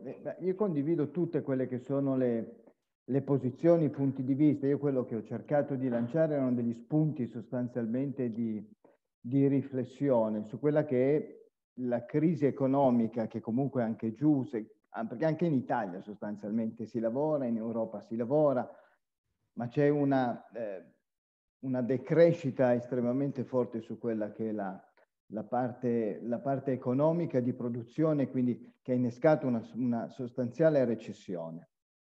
E da quelli che sono un po' gli, gli studi e quant'altro che ho potuto leggere nel corso di questo periodo, eh, nel continente africano c'è, da quello che noto e da quello che oltremodo giornalmente eh, vivo, io lavoro sui trasporti internazionali, in particolar modo sui, sui grandi progetti di, di impianti in tutto quello che è il mercato oh, in tutto quello che è il continente africano, quindi dal Corno d'Africa al Sudafrica, dalla Repubblica Centrafricana al Togo, al Benin, alla Nigeria, al Ruanda, eh, all'Eritrea. E, e, quello che beh, pongo fondamentalmente come, come, domanda, come spunto di riflessione, eh, questa, questa, crisi eh, sta mettendo effettivamente a dura prova quelle che sono le prospettive di crescita e di sviluppo del continente. Eh, questo sicuramente, questa situazione dal mio punto di vista e da, da quella che è un'analisi meramente personale, questa crisi sta mettendo a dura prova e potrebbe innescare un aumento della, in, della povertà e di quella che è l'insicurezza. E la diaspora in previsione aumenterà? Questa è una delle domande. E quali prospettive ci sono? per gli investimenti esteri nel continente. Cioè i prezzi delle materie prime sostanzialmente sono crollati. L'esportazione e il turismo in tutti quelli che sono i paesi fondamentalmente vocati all'esportazione e al turismo nel continente africano si sono fortemente ridotti. Quindi la contrazione interna darà oltremodo il risultato di una riduzione delle entrate fiscali che sono già basse e la spesa pubblica quindi per mantenere fondamentalmente quella che è la struttura dei singoli stati dovrà fondamentalmente essere aumentata. E quindi per mitigare chiaramente quello che è l'impatto cri della crisi sulle famiglie e su quelle che sono le imprese. Quindi un altro spunto che io ho portato all'attenzione è quello di dire, ma i problemi di liquidità potrebbero influenzare la capacità di servire sostanzialmente il debito sovrano e se non adeguatamente affrontati dai vari paesi potrebbero eventualmente innescare anche una crisi di solvibilità e una conseguente crisi del settore finanziario contraendo ulteriormente quelli che sono gli investimenti nel continente. Grazie a tutti dell'attenzione. Grazie Meret e grazie Cleo dell'opportunità. Ma io intanto, eh, prima di passare la parola ai, eh, ai relatori, dico che eh, la situazione è critica a livello globale, nel senso che comunque andiamo incontro a una situazione di recessione e, e credo che Cleo abbia condiviso, eh, ad esempio, il documento della task force messa su dall'Unione Africana per eh, gestire un po' quella che è, l'emergenza, ma anche non dobbiamo dimenticare tutti i fondi che stanno arrivando dalle fondazioni africane private. Quindi è vero che ci sono delle criticità, criticità ma dall'altro c'è anche l'opportunità per gli stati africani di sviluppare il commercio intracontinentale che quindi dovrebbe sopperire a quella che è la diminuzione della, della, della domanda. Però ho sempre la sensazione che eh, lo stesso problema, visto in alcune parti del mondo, ha un peso, visto in Africa viene elevato all'ennesima potenza anche in questo, tornando, riallacciandomi a quello che diceva anche un po' Madani, bisogna cambiare la, l'approccio verso l'Africa, bisogna avere una, una relazione più paritaria. Sembra quasi che dal lato italiano, da, mm, forse in questa seconda repubblica, abbiamo iniziato a guardare sempre più con maggior diffidenza e anzi solo in modo eh, eh, con estrema diffidenza a tutto quello che riguarda il continente. E questo ci sta uh, allontanando da quelle che sono le opportunità, ci sta offus- offuscando anche la visione e di conseguenza anche l'approccio. Poi per il resto lascio la parola sia a Vitaliano che a Sita, che mi sembrava che erano le due persone alle quali uh, aveva indirizzato le domande. Vitaliano, il microfono chiuso. Hai completamente ragione in quello che stai dicendo.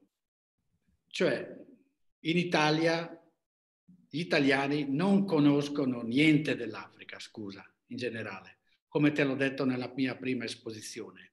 I media non fanno niente, i media si interessano della cronaca di casa loro e naturalmente dell'americano Trump, che ne so, e di queste, e di queste situazioni. Nessuno parla dell'Africa e di quello che succede in Africa e da come le cose stanno evolvendo. Tutti sono meravigliati da come è gestita la crisi, noi per primi. Guarda, io sono qua, io, vedi, sono passato anch'io per il Covid. sono passato con una forma leggera, ma l'ho avuto anch'io, ad esempio, per dirti. Ma la cosa è gestita benissimo, ad esempio, qua anche in altri paesi africani, forse perché le frontiere sono gestite meglio, forse perché a livello di aeroporto le cose si fanno molto seriamente. E questo anche in altri paesi, non solo nel Benin. Un'altra cosa, forse l'africano è già, diciamo, più, più, più protetto perché già, diciamo così, prende della, della clorochina, Ivachin, tu sai che queste, queste, medicine sono le prime che ti, che ti immunizzano. E, venendo a quello che diceva il dottore, ho dimenticato il nome prima. Zanin. Zanin, il dottor Zanin eh, ha fatto una bella esposizione, ha fatto sicuramente, eh, ma non, cioè, non, eh, noi che, stia, che, stiamo vivendo dentro eh, stiamo constatando che eh, la cosa è gestita bene anche a quel livello lì. Infatti ci sono varie fondazioni, vari privati locali che sono chiamati, diciamo così, a, a, al capezzale, diciamo così, di questa situazione, anche Banca Mondiale. Ad esempio qua il Presidente ha detto no, non voglio che mi azzeriate il debito, che mi aiutate del debito. Il debito me lo gestisco io. Datemi piuttosto finanziamenti, sono pronto a impegnarmi ancora di più perché possa diciamo, portare avanti le mie infra- infrastrutture e far lavorare la gente. E anche a livello informale le cose, come diceva prima, eh, penso, penso, Cleo, c'è tantissimo informale che non si riesce diciamo così, a, a controllare, che dà da mangiare, diciamo così. E, e Cleo mi ha chiesto prima di parlare di infrastrutture. Sì, eh, il nostro presidente attuale con la sua visione, strategia, diciamo così, ci fa vedere che con una buona gestione, con una buona governance, si possono fare parecchie cose. E in Africa ci vogliono governi forti, nonostante sia considerato, diciamo così, anche un laboratorio di democrazia, ci vogliono governi forti, ci vogliono presidenti forti che sappiano dove vanno e che sappiano creare le condizioni, giustamente. L'importante è battersi anche contro tutta questa diciamo, corruzione, far vedere che le cose diciamo, vanno avanti, perché chi vuole investire vuole trovare un terreno diciamo così, propizio a tutto questo. Ed è quello che sta succedendo diciamo, qua. E ha parlato dell'ospedale, ha parlato. Questo ospedale che sta incominciando adesso, perché la prima idea di investire su grosso ospedale è per evitare che i deputati, la gente abbiano, debba andarsi a, fare, a farsi curare in Francia, eh, tipo, eh, spende parecchio, diciamo così, per fare, per fare espatriare le persone e piuttosto investirle, diciamo così, in opere, de, in opere del genere. Quindi l'idea è buona e la Francia ci ha marciato dentro, è la Francia che investa con, la, eh, con tutte le assicurazioni e pagando su 10, diciamo 15 anni. La sanità eh, la sanità, come l'educazione, come le infrastrutture. C'è parecchio da fare, sono tutte queste diciamo, le cose che bisogna sviluppare per poter diciamo, poi attirare diciamo, più investimenti. Non c'è tempo, altrimenti ti avrei parlato più diciamo, dell'agricoltura. Sappi che... Avremo fate... altre occasioni per farlo. L'Africa sarà il granaio, sicuramente il prossimo... Eh, granaio, diciamo così, mondiale. Ci sono anche tante cose da fare anche per l'Italia e anche per l'Italia che ha tutto questo savoir-faire con uh, gli equipment, tutto tanto, c'è tutto un discorso importante, diciamo lì. No, pare- apri una parentesi, c'è parecchio da dire comunque. Certo. A Sita. No, io credo che il dottore abbia esaurito, diciamo, l'argomento quindi Grazie. non ho altre cose da aggiungere. C'è qualcuno degli altri relatori che vuole intervenire su questo? Nessuno. Lascerei la parola eh, a Bertrand che ha alzato la mano, se non mi sbaglio, che vorrebbe intervenire. Bertrand? Sì, sì. Eh, chiedo perdono che volevo, volevo intervenire sulla, sulla, uh, sull'argomento uh, che, è più, che, è più, importante, quello della diaspora. eh, diciamo che noi siamo, siamo da, da, quello, dagli interventi che si sono, sono fatti del, del, durante questo webinar si è capito che è, è primordiale e importantissimo l'argomento, della, della, l'argomento culturale che ovviamente noi della diaspora dobbiamo spingere perché cambi il modo di ragionare. Io vedo sempre eh, quando si parla in generale d'Africa che um, i discorsi vanno soprattutto o, o chi interviene sull'Africa sono, sono sempre principalmente, eh, e, chiedo perdono del discorso un po' uh, partigiano se non razzista, che, che, che parlino sempre, um, diciamo, gli italiani che hanno una visione a volte molto parziale di quello che succede in Africa. Um, io l'altra volta mi sono, mi sono um, noi, noi, abbiamo un potenziale importante, esempio, com, esempio come in Africa, come la, le, le, il sole, le energie rinnovabili. Non capisco mai perché l'Italia, che è leader mondiale senza dubbio di, di rinnovabili, non sia presente in Africa. E io ho sempre voluto, e ho, tra l'altro ho chiesto una volta a un CEO di un'importante azienda, um, azienda che fornisce o comunque che tratta le rinnovabili, per quale ragione fosse, ci fosse questo, questo, questo gap di, di uh, questa, questa, mancanza di coraggio uh, nel, investire in un campo così importante. E quello è sempre il discorso culturale purtroppo. Noi dobbiamo cercare di cambiare questa cosa e, e portare noi, eh, diaspora ita- afro-italiana, portare la, la, la, la, parte imprenditoriale italiana a credere e a scommettere sempre di più verso l'Africa, soprattutto in questi campi, che eh, a volte mi, mi, io vedo l'ultima, l'ultima, l'ultima notizia che ho letto sul, sul campo energetico è, è di, di, un'azienda tedesca che sta per aprire una filiale nel, in Camerun, che è il mio paese, e quindi mi chiedo, ma perché non un'azienda italiana? Perché, man- perché quella mancanza di coraggio? L'azienda eh, tedesca aprirà una, una, una mini centrale eh, idroelettrica in Camerun con la, la, diaspora. Allora mi chiedo, e eh, ritorno la, alla domanda, quanto, quanto noi possiamo fare?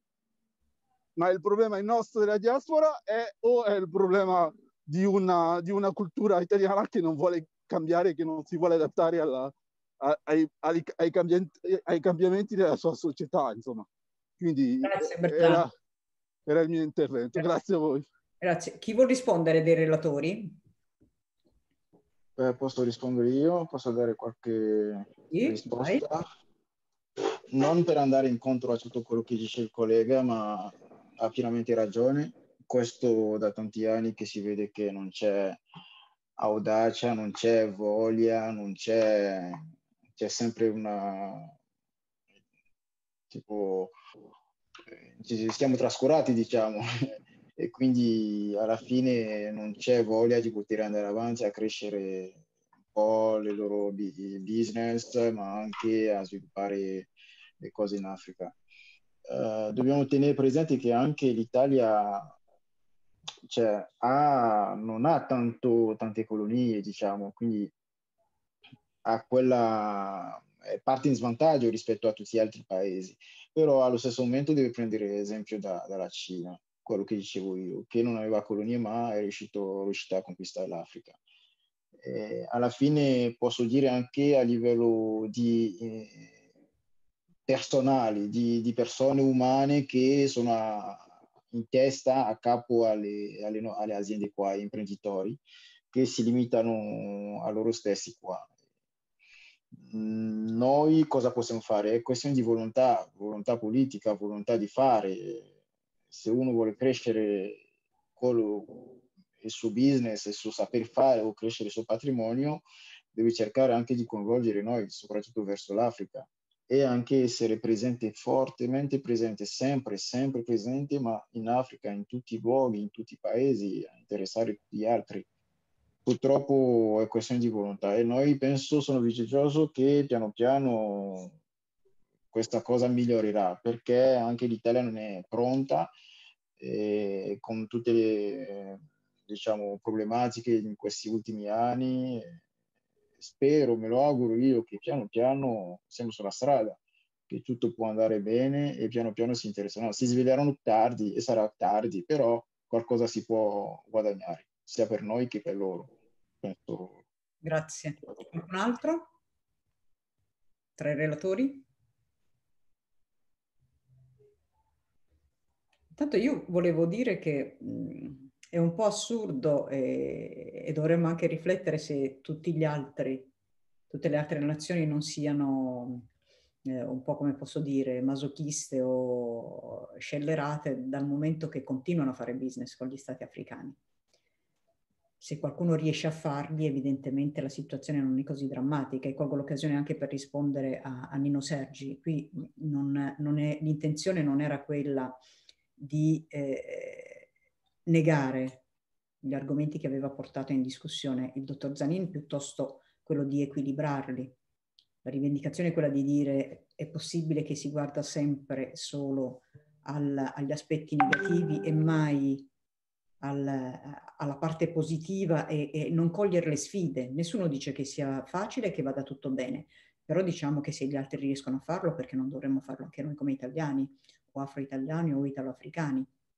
Le potenzialità ci sono, anche il discorso dei fondi che non, che non ci sono, se gli altri riescono a trovarli, evidentemente ci sono dei canali che noi non abbiamo esplorato o, eh, eh ci facciamo offuscare troppo eh, la mente da quelle che sono le, le, difficoltà che spesso vengono purtroppo a livello mediatico dipinte molto, eh, in modo molto esasperato. E come diceva eh, Vitaliano prima, eh, non si è mai o raramente si legge sui quotidiani o si vede in televisione un servizio su situazioni di eccellenza in Africa, sui progetti portati a termine, anche di altri.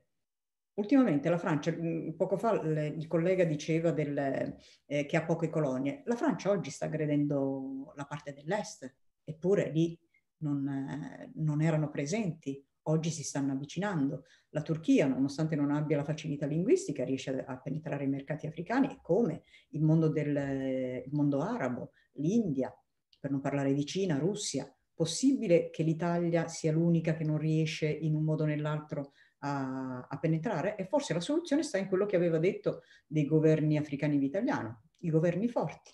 Dovremmo iniziare anche a pensare se il problema non sia quello di una carenza di continuità politica e di governi forti tali da poter accompagnare e, e definire una strategia che accompagni le aziende. Qualcos'altro? Cleo, c'è qualcun altro che aveva eh, chiesto di intervenire? Nella chat no, qui no, non vedo nessun no. Avevo letto una domanda sugli strumenti finanziari, però non la ritrovo più. C'è Donald che chiedeva se c'erano eh, strumenti finanziari e come, come avere informazioni su quegli strumenti finanziari. Donald Dosso, credo. Eh, qualcuno vuole, dei relatori vuole rispondere a questa domanda? Sì, no, rispondo io. Sì. Ah, diciamo che, eh, come diceva anche Madani che, che, è andato, abbiamo sia a livello italiano, europeo che africano tantissime realtà che investono. Abbiamo eh, il, um, la Siemens e Sacek sono realtà che stanno cercando comunque di accompagnare imprese italiane in Africa e anche di fare investimenti nel continente. Abbiamo la Casa di Posti per Assetti che sta anche organizzando per accompagnare quel tipo di realtà che è anche legato a Siemens e Sace. Se poi si va in Africa abbiamo sicuramente eh, le banche come la Banca Africana di Sviluppo, la BAD o eh, le banche regionali che hanno anche loro eh, prodotti finanziari per accompagnare giustamente quel tipo di, di, di, di, azioni. Io direi al signor Donald di venire il 9, così faccio un po' di pubblicità, il 9, 10 a, a, Roma durante la quarta edizione di Italia Africa Business Week dove chiaramente si saranno dei panel ad hoc su come e giustamente trovare eh, strumenti finanziari, contributi per andare a fare business tra l'Italia e l'Africa. Ok, grazie Cleo. Per, eh, non mi sembra ci sia altro. Io eh, ripartirei da Sita con, eh, facendo poi eh, il giro di tutti i relatori con una battuta velocissima per chiudere. A Sita? Yeah, Zanin che voleva dire qualcosa. Ah, scusa allora, Zanin, prego. Sì, io chiedo scusa se, eh, se ho solo scritto adesso per, per, per intervenire. No? Io volevo porre, eh, perché si è parlato sostanzialmente di investimenti e si è parlato poi di relazioni. E quindi quella che è la strategia sostanzialmente che l'Italia, Tucur, può avere nella visione strategica di partnership eh, in Africa, in particolar modo io mi riferisco al Corno d'Africa, Etiopia, Eritrea, Sudan, che un po' per l'Italia rappresentano la storicità no, del, nostro, del nostro paese. Però quello che noto eh, nel corso di tutti questi anni e nel corso del succedersi dei vari governi, che l'Italia sostanzialmente ha, come può essere per, si parla sempre di investimenti in infrastrutture strategiche, a differenza di altri paesi, quello che l'Italia ha denotato nel corso di questi anni è che cambiando i governi cambiano le infrastrutture strategiche. Cambiano, cambiano le infrastrutture strategiche, ma cambiano poi, e, e invece le, le infrastrutture strategiche, quindi come sono quelle che sono le partnership strategiche, devono rimanere sempre quelle.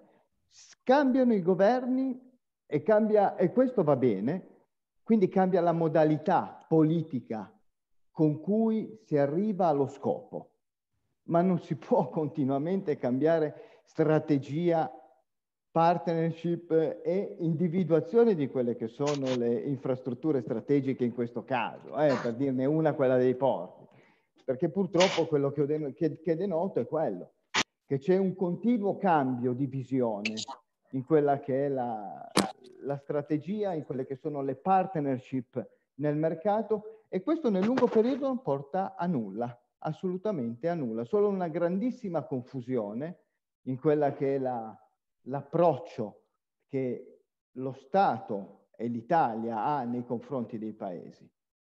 Grazie mille.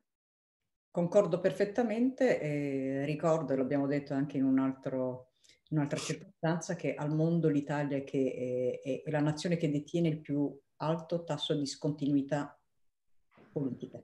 L'instabilità politica, l'Italia al mondo è il paese che ha il più alto tasso. E questo ovviamente incide sia nella politica interna, ma ancora, so, ancora di più su quella, quella estera. E, e io prima di passare la parola in chiusura ai, ehm, ai colleghi volevo anche dire che è un paradosso che leggevo stamattina un articolo che diceva appunto che in Africa c'è un grosso spreco di, di cibo dovuto alla carenza della catena di trasformazione l'Italia è per eccellenza la nazione che non solo riesce a trasformare, ma riesce a, a trasformare un prodotto eh, di origine straniera in suo, vedi il caffè piuttosto che altre situazioni. Ed è paradossale che non veda nemmeno in questo un'opportunità in una realtà in cui il mercato interno è saturo, in cui l'unico, come diceva Vitaliano, l'unico eh, terreno coltivabile è rimarrà in Africa e l'Italia che non riesce nemmeno in quella fetta dove è al top a cogliere l'opportunità e quindi riuscire a creare una strategia che accompagni tutte le, le, le piccole e medie imprese, anche portando il know-how eh, come modello di business. Asita, prego, una battuta per in chiusura, dopodiché Vitaliano, poi Yusuf, eh, Gerard e Francis. Grazie. Sì, per chiudere, cioè, quello che direi appunto è di eh, dare maggiore fiducia, tra virgolette, e di riconoscere le competenze, diciamo, delle nuove generazioni della diaspora, eh, perché so, cioè, come abbiamo visto dopo tutti questi discorsi, sono appunto importanti per... Eh, appunto diciamo la conquista o comunque sia l'avvicinamento dei mercati africani, quindi fiducia nelle competenze, nella nostra expertise, eh, riconoscimento appunto delle figure professionali delle nuove generazioni e della diaspora quando, perché ce ne sono tante. Eh, niente, ringrazio appunto per questo invito ancora e Grazie. saluto tutti. Grazie a te. Vitaliano? Sì, scusate, prima ho avuto un problema, diciamo, con uh, internet, come capita anche purtroppo anche ancora spesso anche in Africa. E non ho seguito quindi l'ultimo dibattito. Volevo solo dimmi, sì, Meret. No, dicevo solamente che siamo in chiusura, quindi chiedevo a tutti voi una battuta di chiusura breve. Ok. E, bon, l'obiettivo, come dicevo, diciamo, durante la mia presentazione, è quello di aiutare le imprese ad estendere dunque la loro impronta in Africa e questo, insisto, si può fare oggi affidando un mandato a qualche rara struttura di consulenza riconosciuta e affidabile. In Africa, Mered, volevo dirlo prima questo, non l'ho detto, c'è bisogno di avere delle buone entrate, dei réseau. Bisogna saper eh, cogliere gli affari, bisogna saper eh, fare certe frequentazioni e questo è questo che funziona soprattutto a parte la gara classica di appalto. Anche quando vendi le grandi gare, anche le grandi imprese è così che fanno. Ti posso fare qualche esempio, ma non ti voglio dare nomi, diciamo oggi, una grossa impresa anche italiana, che viene, se non ha anche il piccolo contatto, piccolo beninese, voglio dire, che lo porta al buon politico, può essere Leni, può essere non so chi, certo. eh, non lo farà. Quindi volevo un po' eh, chiudere dicendo, dicendo questo e dicendo anche che sono disponibile se ci sono altre questioni eh, che Leo mi può scrivere ho certi indirizzi, certi consigli diciamo, che posso dare, eh, non solo diciamo, per il Benin, ma in particolare per, per, per il West Africa, eh, per orientare, aiutare. E grazie comunque, grazie a te, grazie a tutta la squadra e a presto. Grazie. Grazie a lei, l'aspettiamo il 9, il 10 e l'11. Anche ok, con la mascherina, ok. Sì, certo. Grazie. Yusuf? Youssef. Eccomi, eccomi, vi seguo. Eh, allora, io intanto vi ringrazio per, per avermi coinvolto in questo dibattito molto, molto interessante. Abbiamo diciamo, visto più punti di vista e eh, un dibattito ricco. Io quello che consiglio è, diciamo, è per, per chiudere, io invito le, le realtà italiane, quindi imprese, società, studi di ingegneria di architettura, venite e fate come fanno gli altri, eh, fate come fanno i turchi, eh, i francesi che, che, sono a casa loro, nel senso quelli non hanno neanche bisogno di, di intermediari. Eh, abbiate il coraggio di investire in questo continente giovane e con molto potenziale perché eh, potreste perdere il treno e poi, eh, poi eh, diciamo, avere eh, dei rimorsi. Quindi mh, vi, vi, invito veramente a credere e a credere nel, nella diaspora che potrebbe essere il ponte. Grazie mille. Grazie. Gerardo? Eh, tutti hanno detto le cose che volevo dire anch'io e quindi confermo, sono d'accordissimo. E vorrei aggiungere qualcosa che riguarda la volontà politica, la volontà nel fare siamo tutti esseri umani, diciamo, quindi anche se, cioè, se tu hai un, una volontà puoi fare qualsiasi cosa. Lasciamo stare investimenti, io non ho parlato di queste cose perché li davo per scontato. Tutto sta nella volontà. Quindi noi sappiamo che c'è interesse 50-50, anche inizialmente 60-70-40, e alla fine arrivare a 50-50. C'è interesse dalle due parti, quindi se uno ha la volontà politica, la volontà generale può fare qualsiasi cosa. Quelli che sono già qua sono Saipem, Eni, tutti, anche ENA, Venac, queste, io non ho parlato di queste cose perché li davo per scontato, quindi tutto sta nel, nella volontà. Okay. Grazie mille. Fare. Gerard? Eh, no, scusa, Francis? Eccomi. Allora, eh, intanto riprendo da quello che hanno detto gli altri, ringrazio per l'invito. A mio avviso è stata una discussione molto interessante con tanti temi, eh, vorrei dire, molto delicati e sensibili toccati. Eh, per quanto riguarda quello che mi porto dietro da questo webinar, è, è il fatto che ha senso, secondo me, far sì che questa discussione sia una base di partenza per le prossime. Che significa questo? Significa eh, far sì che i contenuti di questa, di questa riunione siano trasparenti per eh, le prossime persone che inviti o, comunque eh, chiunque abbia già partecipato. Secondo me è un piccolo consiglio per noi, la diaspora e in generale per, per tutti i componenti del team. E quindi ringrazio ancora.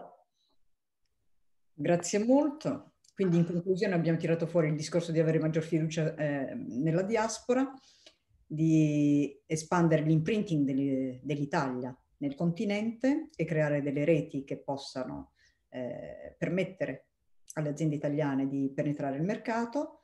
Fate come gli altri, abbiate coraggio di investire, la volontà politica, senza la quale le persone difficilmente riusciranno a portare dei grossi e, e incisivi cambiamenti e la condivisione del contenuto in modo tale che poi possa essere una base per le discussioni future.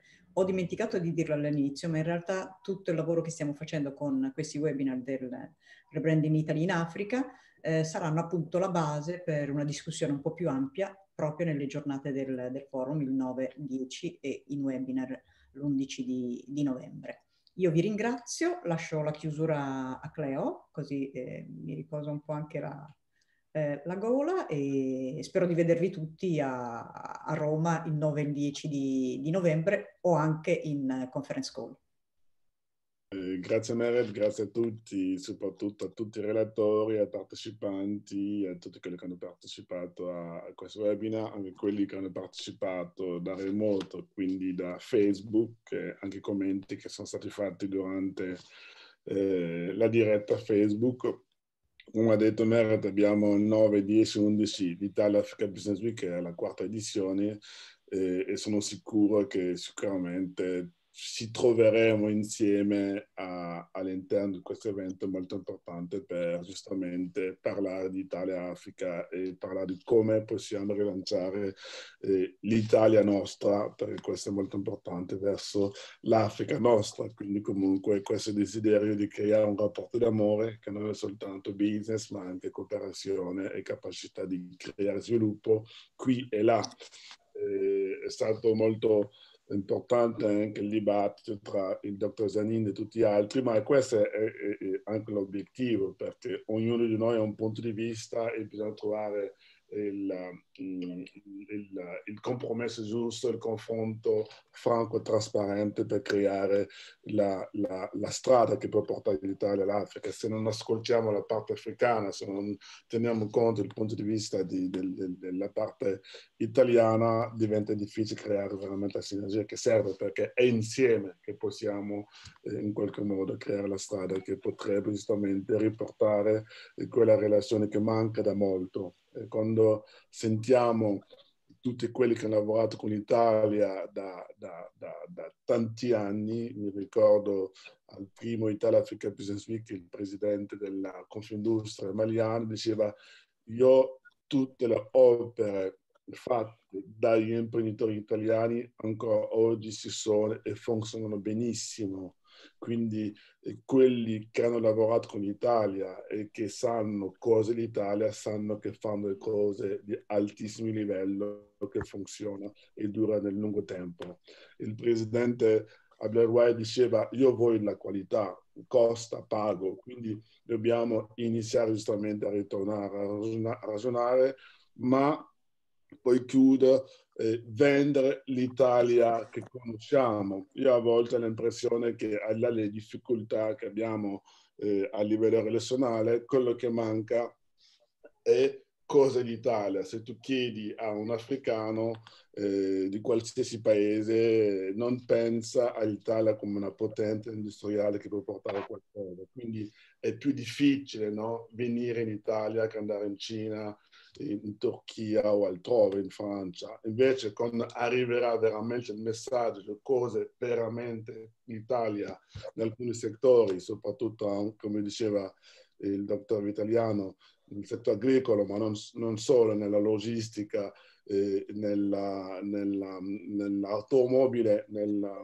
nella, parte anche legato a, a, a, al biomedicale, io sono sicuro che piano piano si tornerà anche a vedere l'Italia e porterà giustamente imprenditori africani a cercare di tessere relazioni con gli imprenditori italiani. Quindi bisogna continuare la comunicazione che potrebbe giustamente aiutare quel tipo di, di attività. Quindi vi ringrazio tutti e vi aspetto all'Italia Africa Business Week. Alcuni di voi poi vi chiameremo eh, per alcuni panel sulle quali stiamo lavorando. Diceva Zanin che si piacerebbe anche fare un panel sulla logistica, quindi poi ci confrontiamo su quello, ma tutti voi siete comunque eh, per noi eh, esperienze e professionalità che possono servire giustamente a raccontare noi quelle relazioni che stiamo cercando di portare avanti. Quindi grazie, buon weekend a tutti e buon appetito per quelli che comunque devono mangiare fra poco. Bye bye. Grazie. Ciao Cleo. Grazie. Grazie a tutti. Ciao. Ciao. Ciao. Ciao. Ciao.